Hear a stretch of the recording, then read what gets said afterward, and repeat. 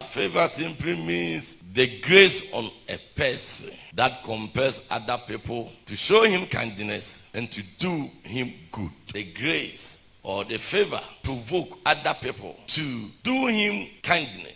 That is favor. Everybody needs favor in your life. Without favor, you will struggle in life. You need favor so that life will become easier and simple for you. I pray to God, may you never lack favor.